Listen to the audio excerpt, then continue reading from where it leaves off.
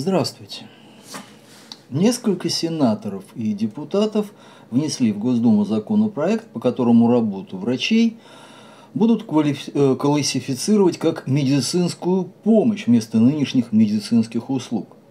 Наконец сообразили, что врачей не стоит приравнивать к официантам и банщикам. Законодатели отмечают, что в последнее время участились случаи привлечения врачей по статье 238 УК РФ выполнению услуг, не отвечающих требованиям безопасности. Они предлагают перестать называть комплекс действий врачей для лечения пациента медицинской услугой, оставив этот термин только для финансовых документов. Сегодня термин «услуга» в статье 238 делает возможным распространение на медицинскую помощь. При этом речь идет о прямом умысле совершить преступление. Интересно, а врачам, которые сидят или уже отсидели за выполнение услуг, не отвечающих требованиям безопасности, амнистия будет? А то ведь как бывает, спасает один человек жизнь другому человеку, но неудачно. Гибнет пациент. И тут уже оказывается, что врач не спасением жизни занимался, а услугу оказывал, и его услуга оказалась ненадлежащего качества. Но дело в том, что парикмахер может отказаться оказывать вам услугу. Ну, допустим, обнаружил в шее или машинка у него сломалась. А врач отказаться не может. Статью за отказ в помощи никто не отменял. И никто уже не, никого уже не интересует, умеет он или не умеет делать ту или иную манипуляцию, есть или нет у него необходимые лекарства, и как он сам себя при этом чувствует. Ну, может, переведут, наконец, врачей из сферы услуг, оказывающих неотложную помощь, как пожарных или полицейских.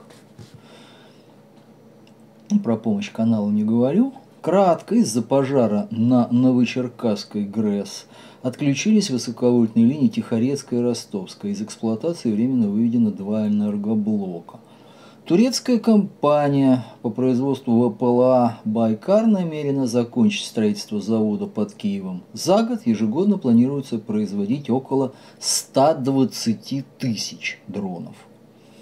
Папа Римский Франциск в воскресенье заявил, что молится за жертв теракта в Крокус-Сити-Холле. С 13 по 19 марта суммарный объем производства бензина на российском рынке упали на 3,9% в сравнении с показателем предыдущей недели и на 5,2% относительно плана выпуска. Маск будет поддерживать Трампа. Илон Маск заявил об отказе в дальнейшем поддерживать демократов и выразил мнение, что США необходима победа представителя республиканской партии на выборах президента, иначе стране придет конец. Еще несколько лет назад я был на 100% за демократов. Сейчас я думаю, что нам нужна красная волна, иначе Америке наступит конец, написал Маск. Выборы президента США пройдут 5 ноября. Об участии в выборах заявили действующий президент США Джо Байден и экс-президент США Дональд Трамп. Что Маск имел в виду под красной волной, не очень понятно. Но республиканцы и э, миллиардер Трамп, в частности, ни разу не левые. Более того, демократы традиционно считаются левее, чем республиканцы. Русский лес больше не идет в Европу. Евросоюз после а, введения санкций против российской древесины переключился на импорт из США и Турции. ЕС в апреле 2022 года включил эмбарго на древесину и изделия из нее в пятый пункт антироссийских санкций. До этого Россия была крупнейшим поставщиком, что естественно. Всего в прошлом году Евросоюз а, закупил древесины и продукцию из нее на 11,5 миллиардов долларов. Крупнейшим экспортером был Китай Сейчас трудно сказать, сколько этой китайской древесины выросло в Сибири. Второй. Стала Украина, сохранив продажи вблизи полутора миллиарда долларов. На самом деле это не очень хорошо для леса. Его надо постоянно прореживать, иначе он начнет гнить и гореть. То есть просто сохранить лес без вырубки не получится. Говорят, надо прекращать вывозить необработанную древесину. И тут властям ЕС даже можно сказать спасибо. Но нужно развивать собственную деревообработку и продавать не лес кругляком, а изделия из него. У нас идет война дьявола с православием.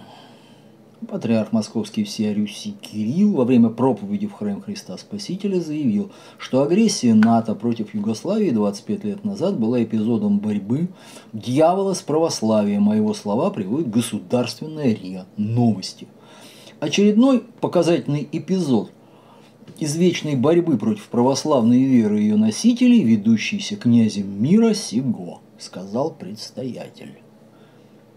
По его словам, главной целью НАТО было отторжение от Сербии, Косово и Метохии, колыбели сербского православия.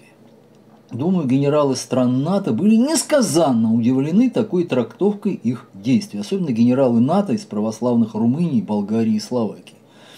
Оказывается, Сербия пострадала за православие, а Хорватия за католицизм, а Босния за ислам – я не думаю, что гражданин Гундяев сам искренне верит тому, что говорит. Но такая средневековая трактовка внешней политики из уст предстоятеля церкви может восприниматься и как официальная позиция Кремля, к которому и патриарх, и его присные сегодня приближен даже физически.